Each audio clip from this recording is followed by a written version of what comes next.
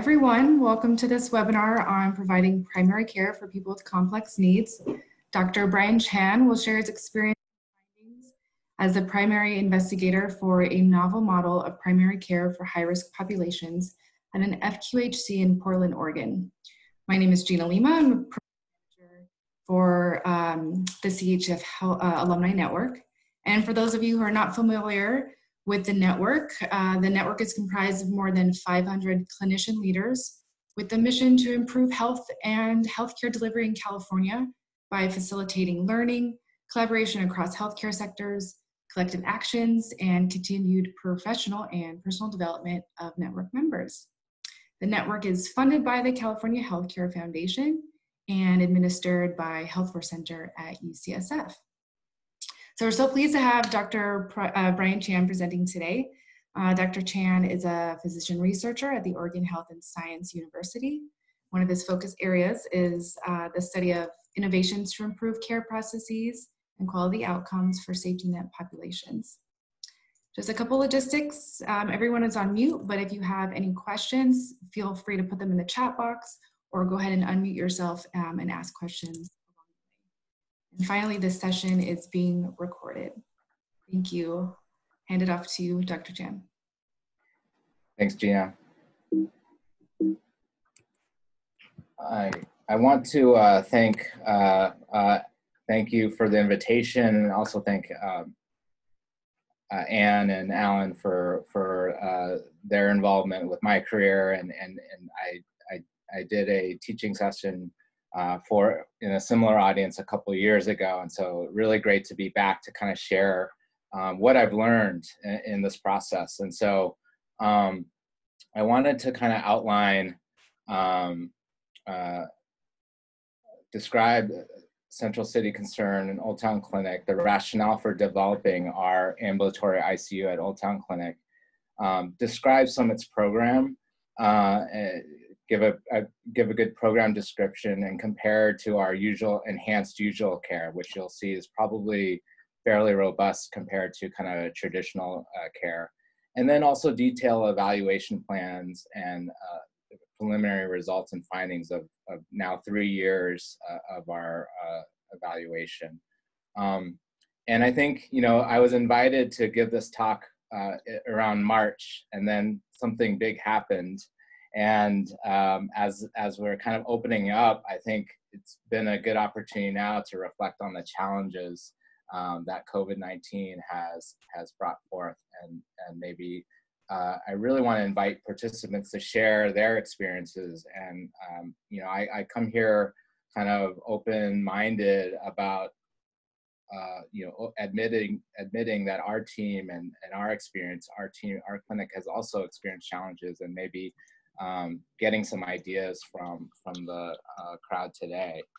Um, I think I skipped over this, but I really kind of want to go through, you know, the goals of the session, um, by the end, I think hopefully you guys can describe the summit program and the AICU model of care, um, understand preliminary results ongoing trial, uh, learn more on provider and patient care experiences with the intervention, um, and then identify current challenges uh, in the time of COVID and, and healthcare climate. So I think Gina, at this point, maybe we can do the polling questions.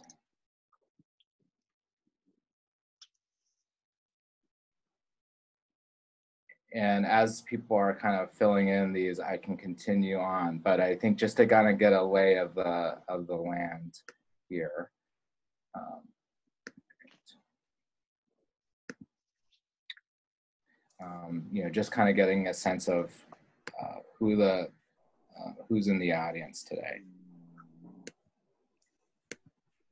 Uh, so a little bit about Central City and uh, my background. Um, so I am a junior faculty member at uh, OHSU, Oregon Health and Science in, in Portland, Oregon.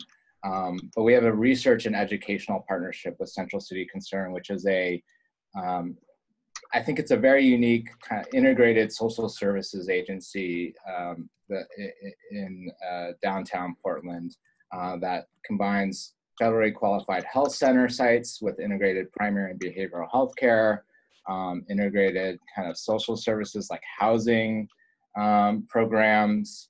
Uh, there are kind of three major housing programs in, in, in, in Portland, and Central City is, is one of them. Um, there's also kind of employment services and addiction services. And I always like to um, recall the, the, sto- the story of Central City was really a sobering station for um, alcoholics in Skid Row in downtown Portland. And from there, you know, developing, uh, understanding their needs in terms of housing, um, addiction services, access to employment, and then kind of meeting their healthcare needs. And um, that's kind of the, the, the, the trajectory of, of a central city's uh, history, um, where healthcare was kind of at the end um, of a lot of addressing social determinants. And uh, now because of, you know, um, uh, healthcare in America, it's become kind of the largest, but it, I think this, it's really important that the roots are still kind of in um, addictions, in homelessness. Um, and so a little bit about our clinic. Um, you know, we're in uh, Portland, Oregon, a Medicaid expansion state. Um, the clinic is a designated healthcare for the homeless program. Um, again, providing integrated primary and behavioral health care, uh, pharmacy and co-located specialty mental health and substance use disorder services. And so if you've ever been to Portland, it's, it's right in the intersection of uh, Burnside and Broadway, kind of right in the middle of, of, of the city. Um, if, if you've ever been to Portland, it's really near Powell's bookstore, which is kind of the kind of highlight. Um, so so um, we serve over 5,000 patients per year, um, many who have a, a, you know complex medical, behavioral, and social needs. Um, and so, you know, prior to Summit, we we've always felt that we had a robust team-based care with a patient-centered medical home model. Um, but even so, you know, in back in 2015, 2014, I think there was real realization that that there were still patients that weren't being uh, uh, served as well as we we we thought we could. Um, and so, you know, this is working with Care Oregon. Care Oregon is a Medicaid payer in in um, in the Portland area. Um, you know, I think this is kind of around the time of the hot spotters, um, high cost, high need patients. 13% of Care Oregon members for about 52% of paid costs. But for our clinic, um, 25% of Care Oregon members were 76% of, of, paid costs. And so I think um, in terms of utilization, 13% of Care Oregon members had qualified as a high utilizer um, for our clinic 25%.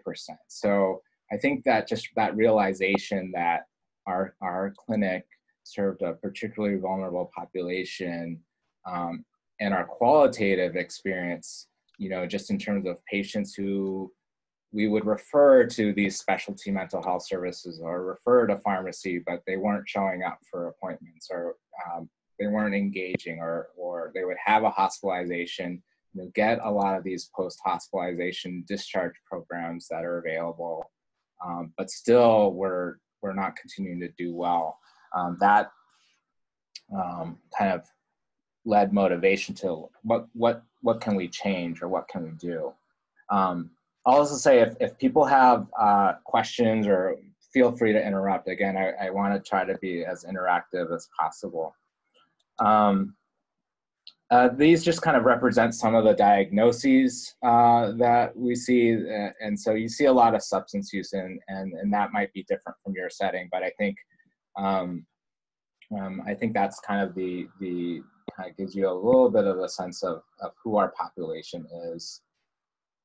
And why an AICU? Um, an AICU, for those uninitiated, are uh, kind of standalone high risk teams um, that have additional resources and, and really kind of uh, uh, patients transfer their care to, to, to such teams um, and, and, kind of, uh, and that's different from like a, maybe a, a, care coordination model that works with existing primary care teams. And, and one of the reasons why is that we've already had some of this uh, in place with our mental health, uh, these core and ICM these are kind of the ACT model teams for, for severe mental illness.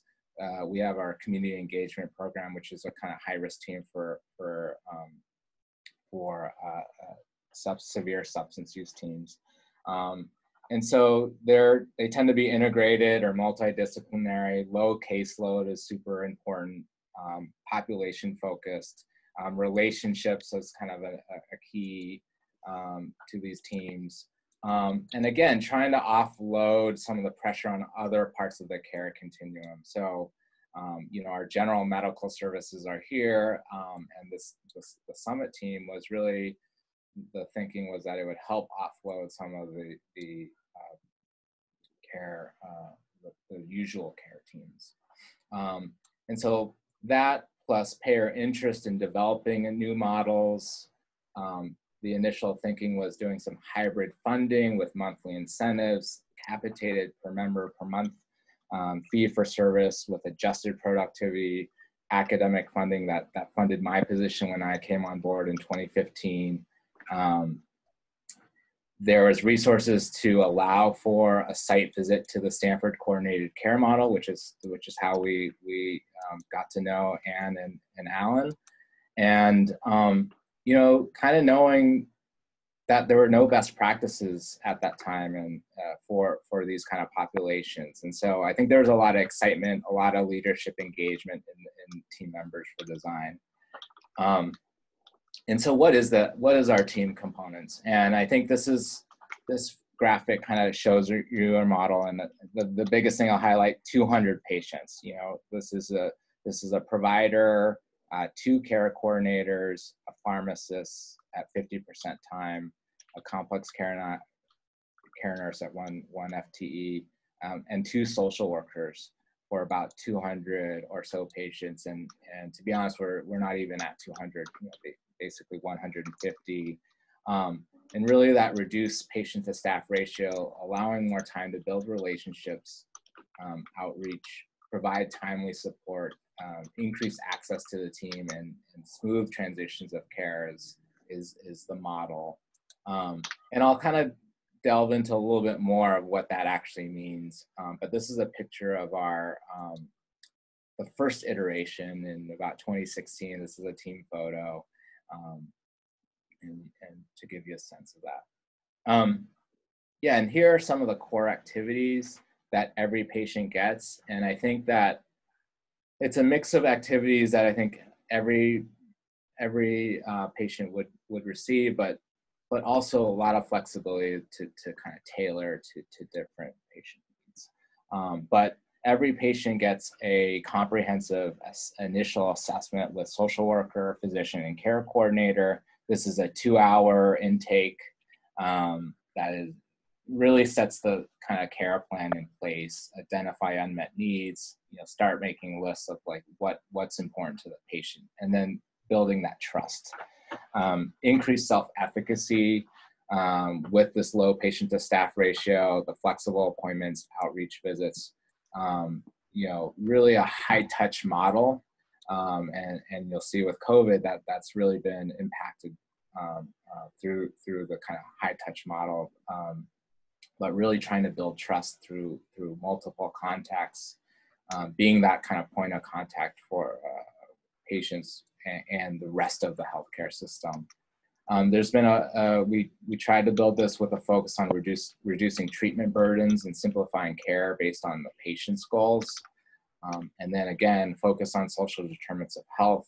Um, the social workers involved in patient care from day one, and uh, linkages to housing, insurance, and other social services. Um, and you know, even being an integrated social services agency like Central City, I think what what what's important to realize is it, it's still very siloed, um, and uh, that's that's been you know there's still a need for kind of additional care coordination or you know, these types of interventions.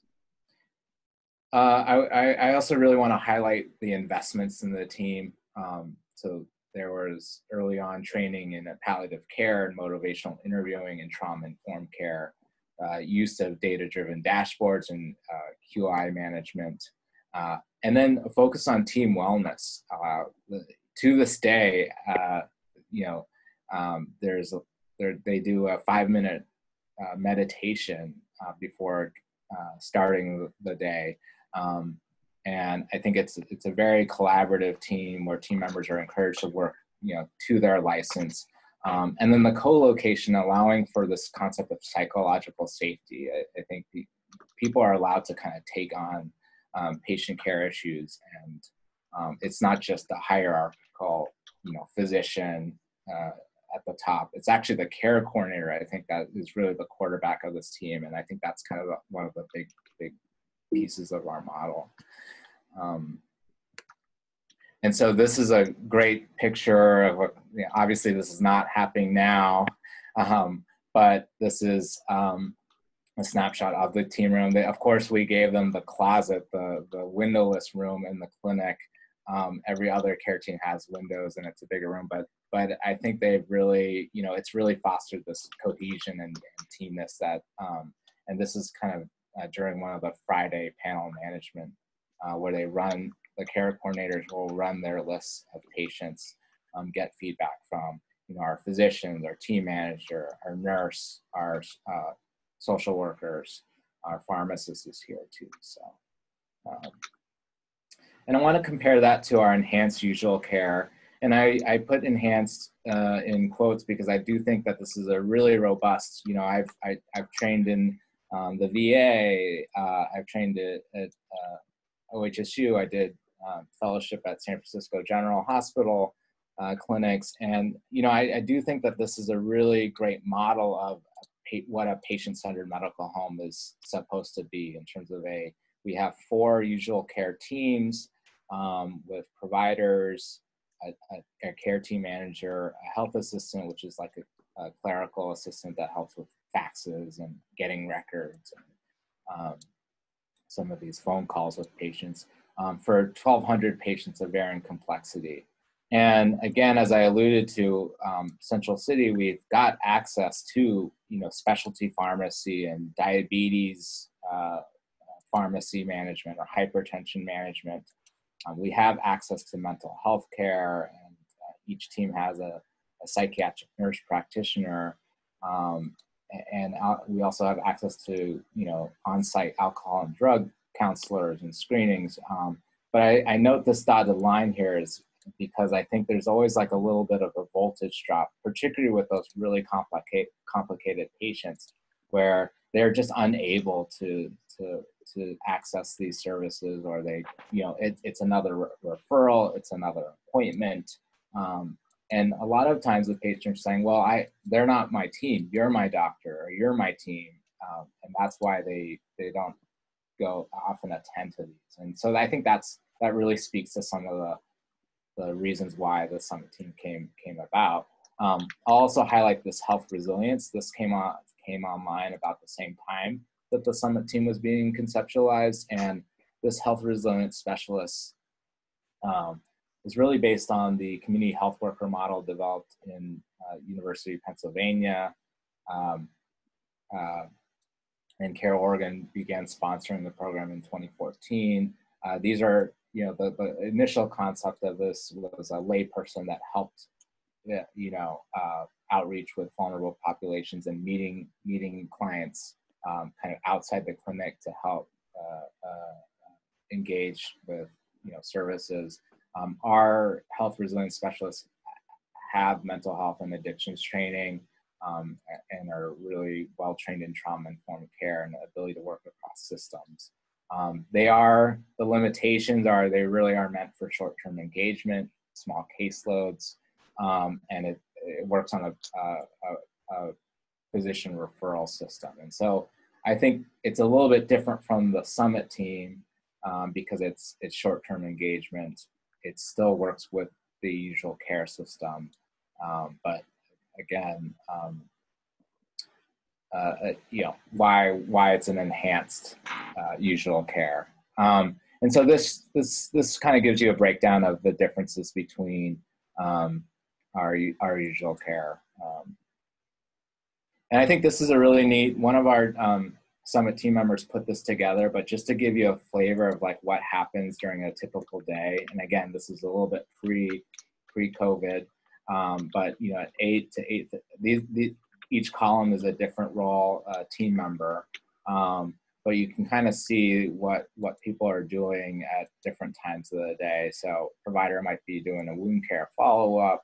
Um, the nurse is reviewing records of hospitalized patients. The care coordinators uh, doing a wound care, you know, kind of uh, for another patient. The pharmacy is starting to review data for patients. The team meets at 8:45 to 9 to do the huddle, um, and then people are off, kind of doing their work, um, seeing patients. But you might see that um, you know the social workers following up on a disability referral, writing an, a letter of advocacy for an upcoming court date. Uh, you know, next checks in with the provider's 10 a.m. appointment to help coordinate new caregiver services. Um, the nurse maybe you know accompanies a patient to an oncology appointment, or and then later accompanies a patient to a, a nephrology appointment, um, and so so on and so forth. But I think this, uh, you know, this is a really fun slide to kind of see. Just this is so much different from from a traditional kind of uh, care practice. Dr. Chan, we have a question. Sure. The question is, are you using any particular systems that drive and coordinate all of these activities? Yeah, that's a, um, we, so a lot of it is paper based. Um, so some of these, I mean, we, we've got our kind of, we use Centricity electronic health record. Um, and that kind of gives the template for scheduling. Um, our care team manager kind of sets uh, kind of sets the schedule each week. Um, but in terms of tracking, um, I mean, we are kind of using whiteboards and paper and pen, um, and I think that's that's one of the challenges that we don't really have um, until recently. The clinic hasn't necessarily invested in um, you know some of the software or some kind of project management tools that um, that uh, that might kind of kind of organize these activities because these are a lot of these activities are non-clinical so the the electronic health record is not sufficient. Um, but it's interesting with with with covid the, the the clinic has invested a lot in in pushing out uh, care management tools. Um, but no i'd be curious what others are using if, if people want to share Hi, um, good morning, everyone. My name is Adelia. I'm a process improvement consultant for Sutter. And so here at Sutter, what we do as a lean consultant, we use a lot of the lean methodology, the visual management tools, pretty much like you mentioned, a whiteboard or an Excel sheet um, to track. Um, we also try to do the daily engagement system where we uh, incent, uh, pretty much coordinate with team members to do their daily huddles uh, virtually uh, for some clinics. Uh, I personally support the virtual clinics, so we motivate them to have their, their huddles daily um, before they start and to groom patients' uh, schedule so they can provide any uh, or escalate any clinical care that is needed. And then um, we also use um, uh, process improvement um, problem solving techniques to help them uh, do rapid improvements um, during the day and, and to save those lessons learned so they can share with the team at the end of the week um, what went well and uh, even better if. Thank you.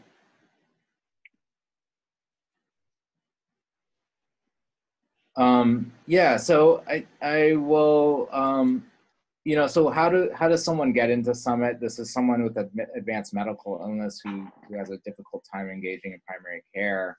Someone who might benefit from longer appointments. Um, someone who doesn't go to the ED often, but when they do, they're usually admitted for medical issues. And so I, I guess what I like to say is that we we try to go with people who have a you know meta, big M in terms of medical and may and little substance use or you know little mental health um, and again, because we have other teams for for those severe mental health illness, we that that was kind of the initial intention.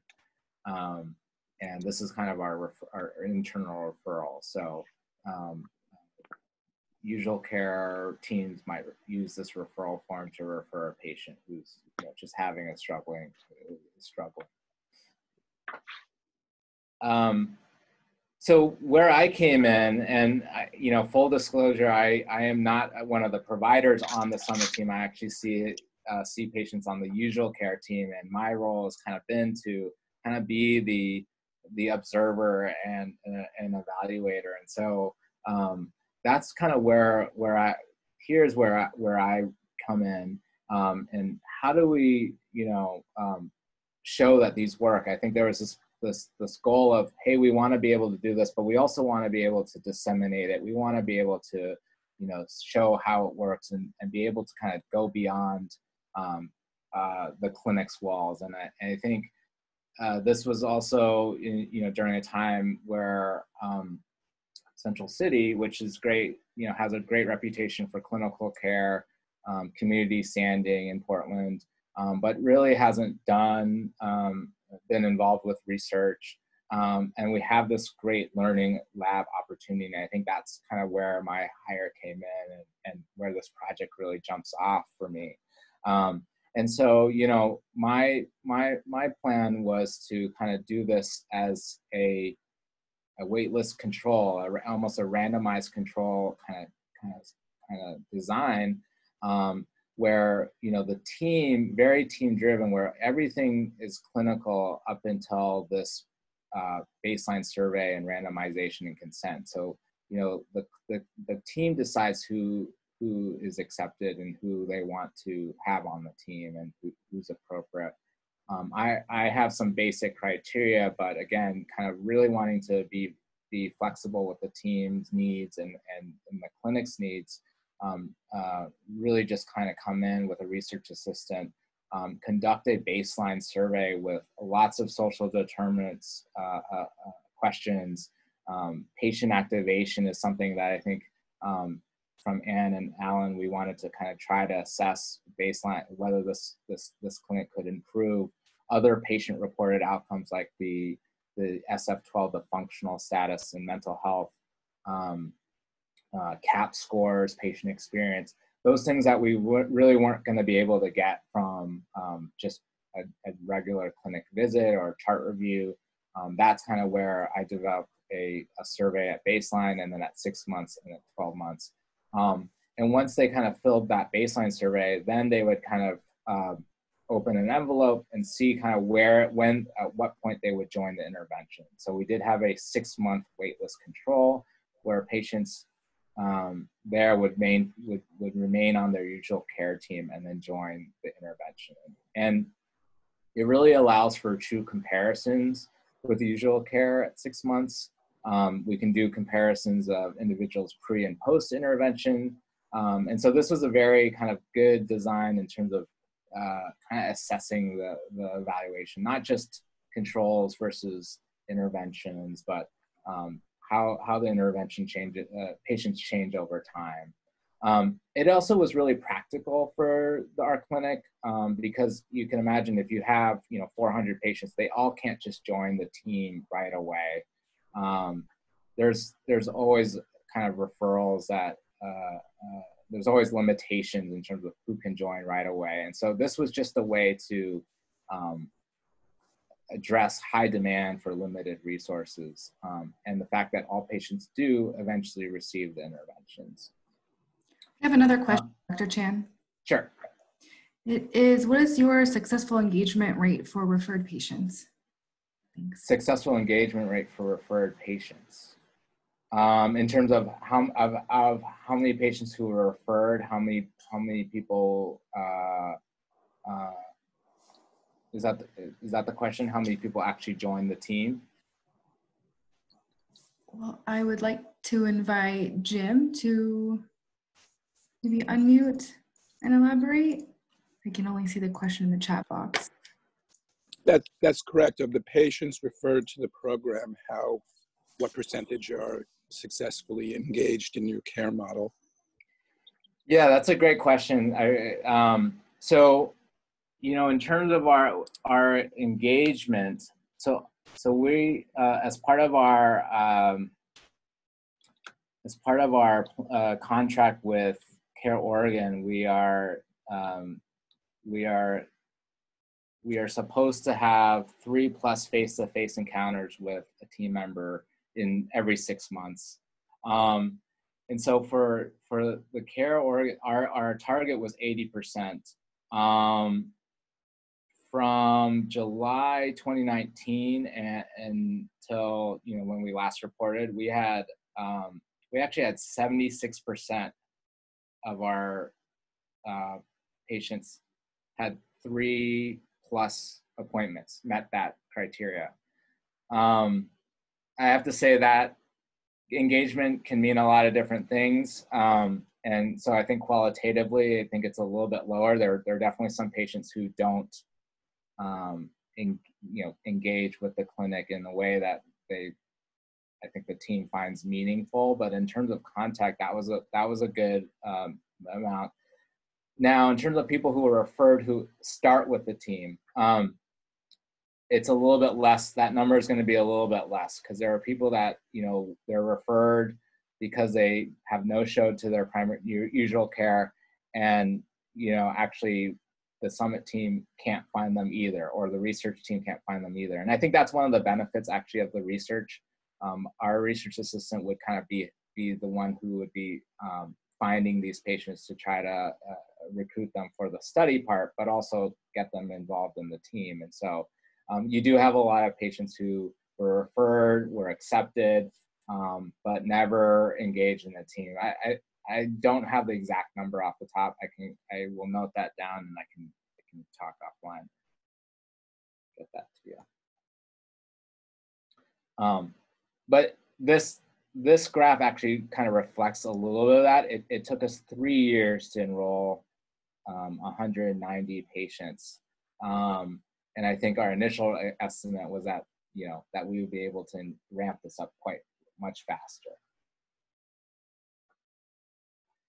Um, this, you know, so of the, you know, of the first 139 patients, I just kind of wanted to give a break that just some basic demographics. But the, the big thing is that this is really, you know, high poverty, um, low social support. This this social support measures out of 100 um, so these are patients who, who really um, um, you know, are affected by social determinants. Um, our housing, um, homeless uh, percentage about 23%. Um, and, and that's to say a lot of our, our patients have already received a lot of high touch services or social services be, before coming on the summit. so they might have already received housing benefits or, or been placed um, and they continue not to do well. I mean, there's a percentage who are homeless as well, um, but but there's a kind of a mix of patients who have already received, you know, been through a lot of case management programs, haven't done well, get referred to our team. Um, this is kind of our preliminary utilization outcomes at six months. Um, the big thing things here is that you know at baseline we're picking the right patients. Uh, these are patients that had you know in the last six in the six months prior to joining the team two and a half um, uh, uh, hospitalizations um, and three, you know, between three and four uh, emergency visits. They tended to use primary care uh, quite a bit. Um, and um, at follow up, the big thing is that there were really no differences in hospitalizations or hospital days or emergency visits, but there were increases in primary care for the for in, summit team visits for these immediate uh, the patients who are randomized to summit immediately compared to the waitlist and similarly with behavioral health visits um, and then the last thing here is that you can see that both groups kind of uh, when you take the differences both groups actually experience you know decreases in utilization um, uh, however um, the summit team uh, members had increases in their uh, primary care engagement and behavioral health engagement. Um, we have a few follow-up questions. Sure. As well. And, and Jim, don't be shy if you want to unmute and, and get on in this conversation too with the question so far. Uh, how many patients were primarily non-English speakers? And do you have any pharmacy utilization outcomes? Thank you for these questions. Yeah. Um, Yeah, you can see here that it's a, a majority white race ethnicity. Um, I would have to say, you know, I, I don't have the number off the top of my head, but I would say that, you know, maybe we have 10 patients who uh, English is not primary language um, and, you know, Spanish speaking. Um, and we have, and one of the providers is Spanish speaking um, uh, as well. So, yeah, I think this is reflective of the demographics of our clinic and um, and of the community at large. Um, although we, we we know that um, you know underrepresented minorities or tend to be have higher rates of, of homelessness um, um, and and have, have higher needs. I think that that is definitely something that we struggle with uh, as a kind of institution. Uh, pharmacy data, that is something I haven't looked at. We we will have data on that, but that's not something I have, you know, in terms of pharmacy utilization. But that's a really interesting outcome that we're trying to do now is, is look at kind of medication possession ratios and, and, and pharmacy refills because I, I think the pharmacist role has been very proactive in terms of medication delivery, um, uh, medication counseling. Any other questions?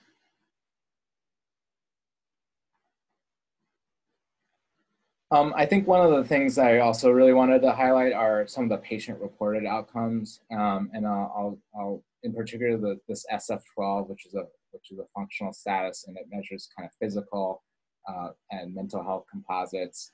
Um, and you know, I think my initial hypothesis was that this team was going to really improve physical health functional status, and we didn't necessarily see that here in these results. What we did see though is uh, in improvements in the mental health scores. And these are kind of out of a, uh, scores out of 100. Um, and you can see kind of a, a, pretty consistent trend of mental health, uh, composite mental health score, the role limitation, emotional questions. Um, um, you can kind of see, you know, I, I, think it really tells a story that that something's happening with this team that in these patients that have, you know, severe limitation, uh, physical uh, limitations and mental health limitations that that the team is doing something, um, and I think that that's something uh, I really wanted to highlight. Um, and again, it, it does make sense that um, kind of on look back, a lot of these patients are already on disability. Um, you know, they already have a lot of chronic um, osteoarthritis. Um, using, you know, having to use uh, uh, walkers or other assistive devices, uh, I, the, the, the ability to improve on that might be difficult um, at that point. So um, this is um, our patient experience outcomes. Um, and I think what you see here is communication was statistically significant. All of them kind of have an increase, but this one was kind of the, the main finding. Um, uh, I, I, was very surprised that care coordination was not higher because, just because of all the activities that the team does um, behind that. But it might be, you know, um, it might might change with with an analysis of the full results. Um, patient activation. Um, so, you know, I think this is already kind of, ten, uh, this is a low activated population. Um, and at follow up, there wasn't a kind of clinical increase, you know, about three points, but um, not, again, not statistically significant. Um, and again, I think one of the, the issues that on reflection is that the, the questions that the PAM asks were very difficult for some of our patient population to understand. And that's, that's true for a lot of those survey instruments. A lot of the surveys that we use to assess these things are not um, uh, super patient friendly. Um, health literacy is a big barrier for our patients. Um, I do want to point out this palliative care measure. How do you rate your health from zero to 10 at six months? Um, and we do, again, see some kind of improvements with, with Summit so, you know, in terms of the quantitative, what do I take away from that? I, I think that some patients seem to have improved mental health functional status, reported well-being, and patient experience at six months. Um, they definitely had higher amounts of outpatient care engagement, although no differences in uh, inpatient hospital utilization. Um, I do think six months might be too soon for changes in utilization in hospital days. Um, both groups kind of regress to the mean, and that that is a kind of patient selection as who really would benefit from these interventions. That's kind of the next step of the, what I'm seeing. Um, and qualitatively, and I'm going to go through that, is it, it, Summit does a lot with social support and patient navigation, and, and, I can it makes sense to me why some of these measures improved and, and others didn't. Um, I'll kind of go through some of these qualitative results quickly, and to uh, um, but but I really wanted to highlight. We interviewed uh, the team members. We also interviewed usual care team members to kind of you know what is their concept of caring for these patients and what what are the processes of care that, that are really important and what are the outcomes that are really important to for staff members um, and i really want to highlight this patient system mismatch um, i won't read the the quotes in the in the interest of time but you know you can imagine that these healthcare systems um, aren't always set up for for the patients that are on summit or for these medically complex patients. Um, so a lot of like what this team does is addressing patient system mismatch. Um, the team really important uh, really feels it's important in terms of building connection. Um, uh, so not just talking about the medical but also talking about the psychosocial uh, being present with the patient um, and you know this really ability to ride through chaos. Um, I was just on a team meeting today where you know they did, did all this care coordination to get this patient to an appointment, um, only to find out that the that the the the referring clinic had canceled the appointment or uh, rescheduled the appointment, and so that that kind of is an example of the you know, riding chaos and chasing people down doesn't always happen you know right away that that's that's a typical story for for the summit team um, you know, flexibility in care delivery, really trying to find different modes for how to um, address uh, care needs and get them engaged. Um, this, the sense of teamness, I think, is really also important. Um, you know, hearing what everyone else has to say, this, this concept of psychological safety, um, and supporting patient self-efficacy. Um, I think, and this is kind of theme seven, theme seven is that the staff really don't define success by utilization, even if the payers or the system really wants to, to, to address utilization. Um, it, it's really the, the, the uh, you know, that's not what's super important to, to these, to the, to the providers. Um, so, um, I think from a patient perspective, I'm just starting to delve into this data, but I think there's an appreciation for humanizing encounters with Summit. There's those trusting patient provider relationships that support patient engagement um, and how the team helps navigate challenges to self management and as well as structural supports. Um, and I think these are just some quotes that I, I, I'm just now reading, but really kind of capture that. It's, it's nice to see people that know what's been going on and know your background. They don't have to ask you 49 million questions to get to where you're going. They're going. Um, another patient said, I mean, it's it's kind of the thing where they know who you are. They just know what's happening with you, and it's not like you're just another number. There are a lot of places that you go, and that's all you are. You're just a number. This last one I'll, I'll mention um, is, you know, I was 32. I got diagnosed with diabetes, and that's when everything started. And then I got a doctor out in another clinic and they were okay. They weren't too bad. It was just kind of like you're diagnosed with diabetes. Here's what you need to do. That was it.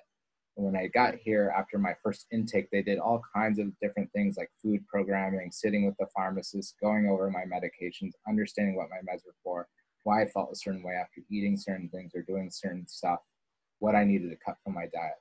You know, I didn't have any of that with my other doctor. My other doctors pretty much was, you got diabetes, look it up. Um, I think current issues, uh, staff transitions. Uh, we, after kind of several years of stability with the team. We, we've experienced a couple um, departures and difficulties filling certain positions, particularly this care coordinator position. That's really been a challenge. Um, uh, kind of the first major challenge, I think, for this team after a couple of years of stability. Um, we've had some difficulties obtaining clinical and panel, management data, and I think um, you know, some of that, um, as, the, as the other um, uh, participant added, you know, we, we, we have been doing a lot of tracking with a whiteboard and pencil and paper, but um, it's difficult to sustain that kind of work. Um, quality improvement activities, uh, you know, I think, uh, and, and, continued training have been difficult with financial pressures and um, not being able to kind of invest in the team as much. Um, there is a little bit of perceived loss of leadership support. So, um, um, and and that might be a good thing in terms of you know Summit is doing really well. We've got it in place. It's working. We don't. We need to put out other fires, um, other other needs in the, around the clinic. Um, but um, yeah, I think there are a lot of challenges that this model has for sustainability. Um, you know, the financial piece. Um, there are there are calls from our payers that were initially supportive of now. Hey, we need to kind of demonstrate you know increased productivity and and what does that mean and how does that change the model i think that's something that we're we're struggling with right now um, and with covid i think everyone's kind of had the same challenge about the lack of ppe um, but that's really made it challenging in terms of this high touch intervention the, the need to see patients and balancing that with the safety of the patient and safety of the staff. Um, so we we were at kind of at the will of the clinic direction and the clinic policy had kind of a, a blanket policy of no you know face-to-face visits unless it was absolutely urgent. Um, and that applied to the summit team we have no infrastructure for video virtual visits so we're doing a lot of telephone visits um, and so in-person visits are mainly for wound care you know essential evaluation and high-risk addictions the majority of the team is now off site. Um, the care coordinator and the nurse are on site every day, and that's for wound care and hospital admission discharge care coordination. The pharmacy is on site 50% um, of the time, and the physicians are on site about 25% of the time. Um, there's also this inability to do any type of outreach, so accompanying people to appointments or social ser services. The exception is pharmacy, uh, they've developed, you know, safety protocols with PPE that still allow them to do some med delivery and, and med counseling. Um, and again, from my observation, this tension between the desire for face-to-face contact and kind of safety and unknowns of what uh, of COVID-19. I think it's also important to note the external challenges. So social services that were kind of commonly um, you know that the summit team commonly engage in have also reduced their capacity and so that that means less ability to take someone to the dmv for you know to get their uh, license or you know a disability hearing. Those things are have become either virtual or um, haven't happened because they're kind of quote unquote non-essential. Um, and so yeah the, the, the, that work has now gone away. Um, and you know, with that and the financial picture of primary care, it, that's that's also been kind of a, a big challenge uh, that I've been thinking about. Um, I think some of the impacts on the staff, the the behavioralists now do more counseling with clients uh, with the telephone and care and and uh, and more care coordination with other services and less case management. And I think that was something that's might be actually be beneficial because I think the initial conception of this model was that it was was going to be more counseling, uh, a mix of counseling and case management, and sometimes it was more case management and less counseling. And now um, they're they're actually able to do some counseling. Um, there's a sense that everyone is a little bit less busy. Uh, I, I, put that in question marks. Um, but you know, phone visits generally do not take as long as in person, the one hour appointments. Um, not everyone is in one one room and so we're using microsoft teams for daily huddles and chats and i think that has been really strengthened there, there's been really focus on that Um, and there's a sense of more quality work, um, ability to get more people housed or higher quality care coordination in particular. Um, I, am looking into that at this time. Um, but yeah, we, we definitely struggle as probably you guys have with struggling with who should be seen in person. And for some patients, the phone visits actually have been that avenue for engagement that wasn't there prior. So back to Jim's question about who's connected and who's not. Actually, phone visits work for some patients, and I think that as an opportunity for how we uh, reform the payment structure and, the model.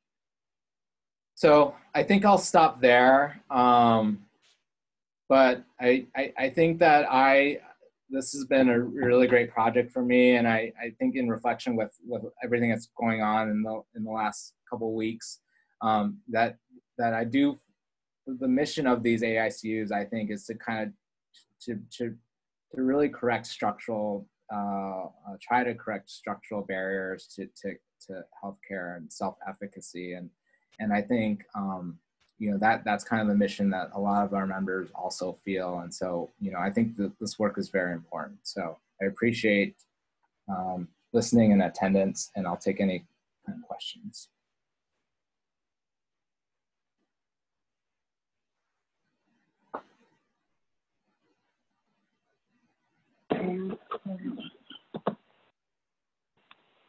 Brian, this is Alan Glaseroff. The, the, uh, I just wanted to tell a little anecdote from a site visit I did. Both Ann and I have done site visits since, uh, since the program started. Um, you were having a, an issue, or the, the team was having an issue because your little um, room without a window where the team meets or used to meet was on the second floor, but the entry to the clinic is on the first floor. And uh, it's kind of a daunting entrance. It almost looks like uh, downstairs. It resembles trying to get visit your family in jail a little bit, you know, with plexiglass and and people standing in line. The the uh, what what you guys had found out is that the patients figured out how to bypass that desk, get to your little room and knock on the glass. And I, I just remember a discussion where people were saying, well, maybe this is the new way that patients register or, or, or check in for their visits or, or get their needs met. And to me, having that flexibility to think like that is what distinguishes patient centered from delivery system centered. So I just yeah, want thank, to talk about. Thank you for that. Yeah,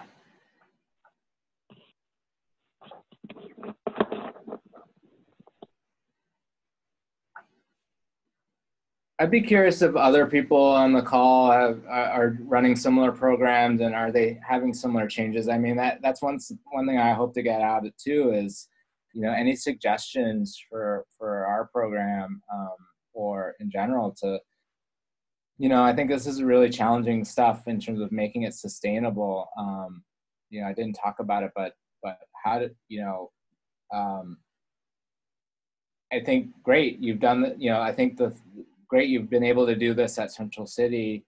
Um, can it be applied to other settings? I think that's that's something I think about all the time. I, I do think about, you know, in, in terms of our current payment model or what changes we need to happen to make this more sustainable where, you know, a one hour visit at this point is treated similarly to a 15 minute, you know, visit. Um, uh, you know, that, that makes it really hard for sustainability. So curious if other people have run into the same questions or same problems.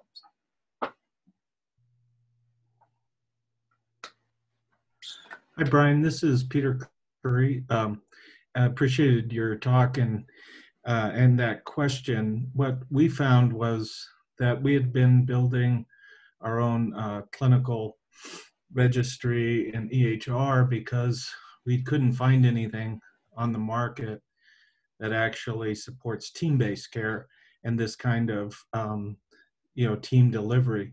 Uh, there certainly are those that support multidisciplinary episodic care where you refer to other folks, but our model was having much like that picture you showed a team in the room that did treatment planning together um, and was and is presented much like you described with the uh, care coordinator as the quarterback so what turned out to be very valuable for us was having invested in that clinical registry to support the uh, kind of model that we do, transdisciplinary care, and then uh, seeing that pivot using video and telehealth uh, to be able to continue to treat patients in that kind of unit-based care where patient could be part of a group or a cohort that's treated uh, by the same team, same day, same time. And so uh, what was different for us is we couldn't disperse our team to their homes. So the team comes and sits six feet apart with their masks on and deliver care as a team to patients who are now um, on a video platform or telehealth. And that's been a very powerful learning experience uh, for us to be able to, to pivot to see transdisciplinary care able to be delivered um, in an age of COVID where you can't necessarily see the, the people. So we're, we're kind of excited to see what comes of this in the future. We think that for some patients, they want to be seen and they're getting tired of the uh, distance. Um, for others, this has been, you know, a lifeline for them to be able to continue to be able to be treated by the team that's in clinic, even though the patients are at home. So anyway, I just wanted to throw that out there that uh, a lot of parallels from what you were presenting and, um, you know, having the software to support transdisciplinary care really was the key for us in making that pivot.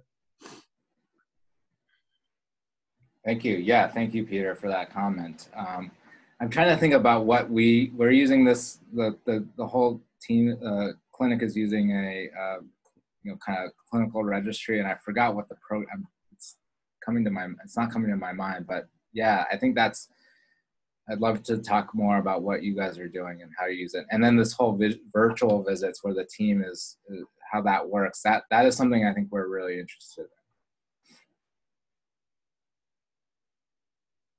Um, I'm reading some of these other. I just looking at the comment box. Uh, it's um, yeah, I, I agree with Shelly. Uh, the question about using PAM and other functional assessment tools, it, it really is important to what tools are most effective to capture the responses. Um, yeah, and I, I, I definitely agree. Um, you know, I, I think the, the, the Camden trial that just came out in the New England Journal and earlier, uh, you know, one of my colleagues wrote a response letter to that, but just it didn't capture the all the other things that happen you know starting a registry for these patients getting people connected to housing or food food uh, uh, um, food resources. I think those are really important things that didn't get captured in that evaluation. It may color what people think of these interventions um, do i think outcomes will be stronger when assessed at 12 months that is really a good question i, I think I think we're going to be able to do that, and I'm really that I, I do think so because I think the the concept is um, that again that that that high utilization is is sometimes a it, like a chronic disease. It takes time uh, to kind of de- develop new habits, and I think this team is kind of enforcing kind of new routines, how to engage your care. You you want to come come to us first before you do anything else, or use this, or here's this resource. Uh, um, and so I'm going to be excited. I think the this trial will, the kind of last patient will kind of complete their year follow up in November, and I think that's when we're going to be able to kind of see the 12 months, um, and maybe some data 18 months. It's going to be harder to see at 18 months because again we we have a six month um, that that's kind of our control is for six months, and and uh, it's it's going to be harder to kind of make draw conclusions at 18 months.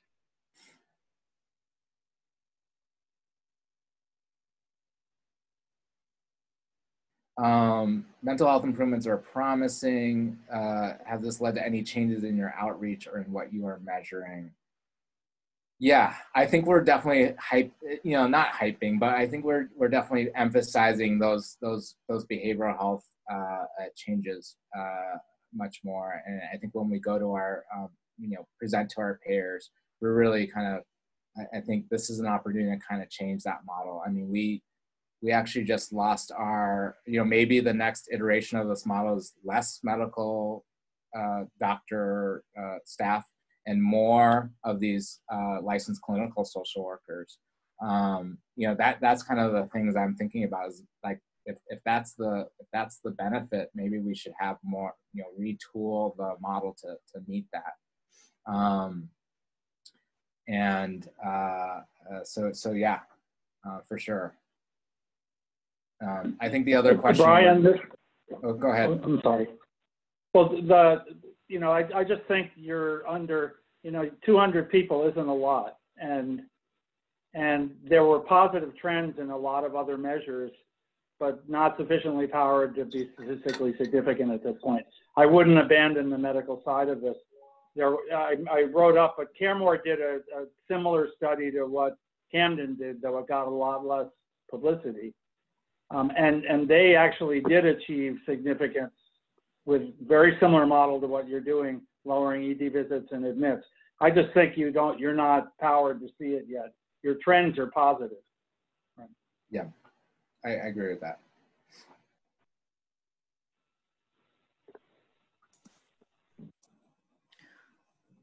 We are at one o'clock, so I'll encourage any last questions while we have Dr. Chan on the line here.